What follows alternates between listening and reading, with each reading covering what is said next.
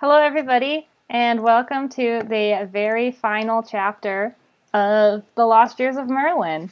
Uh, we it's called Home, and we will finish it up tonight, and then we'll start the book to tomorrow. Um, all right. So in the last chapter, uh, Shim crawled, saved Emrys and Rhia by crawling into the cauldron of death and turning big, and all of the giants came and crumbled the castle. So now that that's over with, uh, we get to read the last chapter. Okay. Home. The wall behind us started to groan. I turned to Rhia, whose tattered suit of vines still smelled of the forest. We must go before the whole cla- castle collapses. She shook some chips of stone from her hair. The stairs are blocked. Should we try to climb down somehow?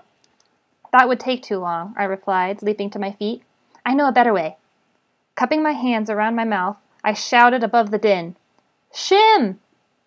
Even as a crack split the wall, a face appeared through a hole in the ceiling. The face would have been familiar if only it had been many, many times smaller. I is big now, boomed Shim with pride. You got your wish to be as big as the bigliest tree. I waved to him to bend over. Now put your hand through that hole, will you? We need a ride out of here. Shim grunted, then thrust his immense hand through the hole in the ceiling. The hand came to rest on the floor beside us, though so near to a chasm that only one of us at a time could squeeze past to climb into Shim's palm. Rhia chose to go first. While she carefully worked her way around the chasm, I hefted Deepercut in my hand. Although its silver hilt still felt cold from the clutch of Rhita Gawr, the twin edges gleamed with a luster that reminded me of moonlight on the rolling surface of the sea. Suddenly I remembered the treasures of Fincayra. They too must be saved. Whatever time remained before the final collapse of the castle, I must use to find the treasures that had not already been destroyed by falling debris. Come on! called Rhia, holding on to Shim's thumb. You go first, I answered. Send Shim back for me. As she watched me worriedly, I cupped my hand and shouted toward the ceiling. All right, Shim, lift! As Rhia rose through the ceiling, I placed Deepercut on the safest looking slab of stone I could find. Immediately I began prowling around the remains of the once cavernous hall. Crawling over tumbled columns and the corpses of Ghouliants, dodging falling chunks of stone, stepping over fissures snaking across the floor, I moved as swiftly and carefully as possible.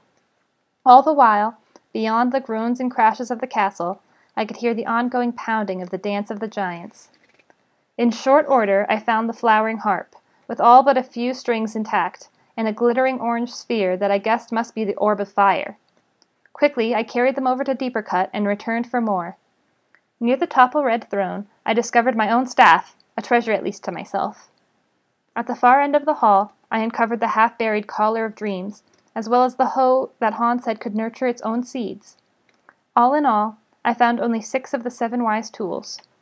After the hoe, I located the plow that tills its own field, although it proved almost too heavy for me to lift. Then I discovered a hammer, a shovel, and a bucket whose powers I could only guess. Last of all, I turned up the saw that I that I knew from Han's description would only cut as much wood as needed. Although part of the handle had been crushed by a huge chunk of stone, the tool remained usable. I had just deposited the saw with the other treasures when Shim's face reappeared through the hole in the ceiling. You must come, he thundered. The castle is ready to fall in. I nodded, though I still wished that I had been able to locate the missing one of the seven wise tools. Not knowing what it might look like had only made my task of finding it more difficult. Even so, as Shim lowered his great hand and I began loading it with the treasures, I occasionally paused to scan the hall for any sign of the seventh wise tool. Is you done yet? Shim bellowed impatiently. Almost. I hurled the last of the objects, my staff, onto his palm. Just one more minute while I climb on.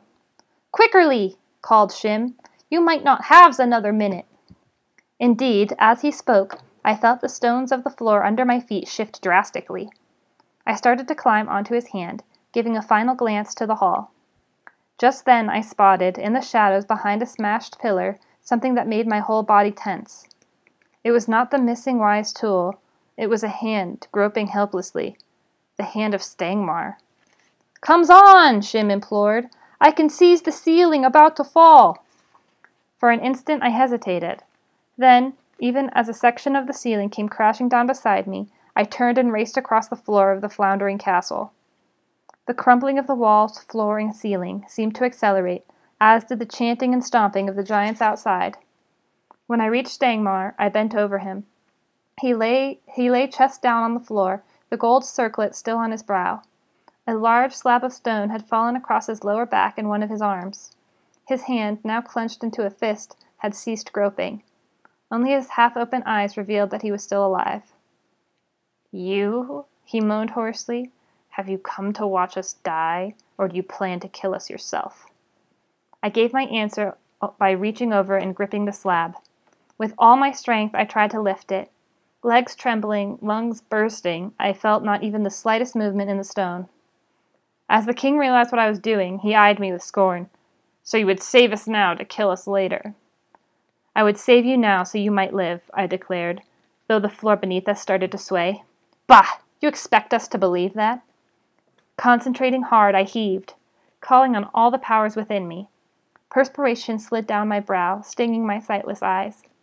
At last, the slab, the slab budged just a little, though not enough to free Stangmar. Before I could try again, the floor burst open. The two of us tumbled into the darkness below, amidst the rising roar of the castle's final collapse. All at once, something broke our fall. Stangmar and I rolled together in a heap. At first, I had no idea what had caught us, except that it was far softer than stone. Then, as the light from the giant's torches returned, I viewed the ruins of the castle below us, as well as a familiar face above us, and I understood. I catches you, crowed Shim. It's a goodly thing I has two hands. Yes, I replied, sitting in the center of his palm, a goodly thing. The giant's enormous mouth frowned. The wickedly king is with you, he roared with rage. I will eat him! A look of terror filled Stangmar's face. Wait! I cried. Let us imprison him, not kill him. Stangmar gazed at me with astonishment. Shim growled again, scrunching his mountainous nose with displeasure. But he is bad, completely, totally, horribly bad. That may be true, I replied, but he is also my father. I turned and looked into the dark eyes of the man beside me. And there was a time, long ago, when he liked to climb trees, sometimes just to ride out a storm. Stangmar's eyes seemed to soften ever so slightly, as if my words had almost cut as deep as the blade of Deepercut. Then he turned away. Shim set us down on a knoll of dry grass at the edge of the hill where the shrouded castle once stood so formidably. Then he stepped away, the ground shaking under his weight. I watched him sit down, propping his back against the hillside. He stretched his immense arms and gave a loud yawn, though not so loud as the snore that I knew would soon come. Seeing Rhia nearby, I left the crumpled form of Stangmar to join her. She stood looking westward, beyond the castle ruins, toward a faint line of green on the distant horizon. Hearing the crunch of my footsteps, she spun around. Her eyes, wide as ever, seemed to dance. You're safe. I nodded as are most of the treasures. She smiled, something I had not seen her do for some time. Rhia, am I mistaken, or is it growing lighter?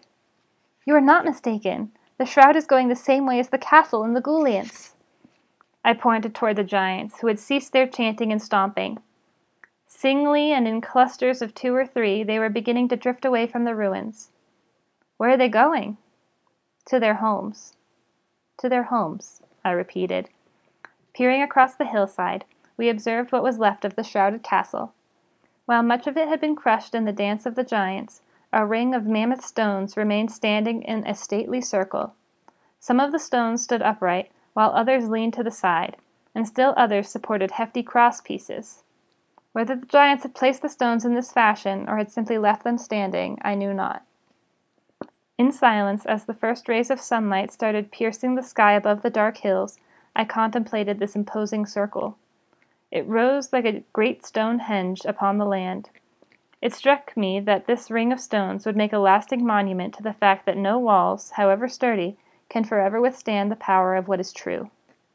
Vision that is true. Friendship that is true. Faith that is true. All of a sudden, I realized that I could remember my own childhood in this very place, on this very hill. Only when giants make dance in the hall shall every barrier crumble and fall. The prophecy, I now understood, had not only applied to walls of stone. My own inner walls, that had cut me off from my past since the day I washed ashore in Gwynedd, began to crumble along with those of the castle. First in gentle wisps, then in surging waves. Memory after memory came floating back to me. My mother, wrapped in her shawl before a crackling fi- fire, telling me the story of Hercules. My father, so confident and strong, leaping aside a black stallion named Ion. The first time I ever tasted the larkon, the spiral fruit. The first swim in the river unceasing. The final, sorrowful minutes before we fled for our lives, my mother and I, praying that the sea might somehow deliver us to safety. And then, from my distant childhood, came the words of a chant called the Lidra. It was a chant that had been sung by my mother long ago, just as it had been sung by the giants themselves today. Talking trees and walking stones, giants are the island's bones. While this land our dance still knows, Barrigal crowns Fincayra. Long live, long live Fincayra.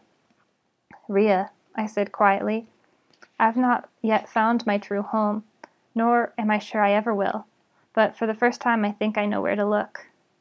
She raised an eyebrow. And where is that?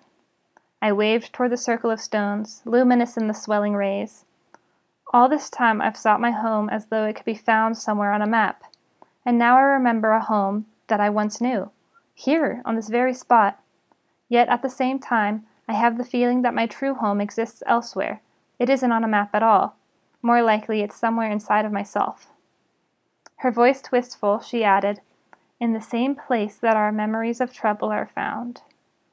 I reached my hand into my satchel and pulled out the feather. Softly, I stroked its edge with my finger. I have an idea of what happened to him when he vanished. I can't quite believe it, but I can't quite dismiss it either. Rhia studied the feather. I have the same idea, and I think Arbassa would agree. If it's true, and his bravery opened the door to the other world, then he and Rhita Gawr must have fallen through that door together. She smiled. It wasn't a, a journey Rhita Gawr had planned, but it gave us the chance we needed. So if it's true, some trouble is out there somewhere right now, still soaring. And Rhita is out there too, still fuming. She nodded, then her face turned serious. Still, I'm going to miss that hawk. I dropped the feather watching it spin slowly downward into my other hand. So will I. Rhia kicked at the brittle grass under our feet. And see what else we have lost? This soil is so parched, I wonder whether it will ever come back to life. With a slight grin, I nodded. I already have a plan for that. You do? I think the flowering harp, with its power to coax the spring into being, might be able to help. Of course, I should have remembered. I plan to carry it to every hillside and meadow and stream that has withered, as well as to one particular garden down on the plains where two friends of mine live. Rhia's gray blue eyes brightened. I was even hoping. What? That you might want to come along. You could help revive the trees. Her bell like laughter rang out. Whether I come or not, this much is clear. You may not have found your true home, but I think you have found a few friends. I say you're right. She watched me for a moment.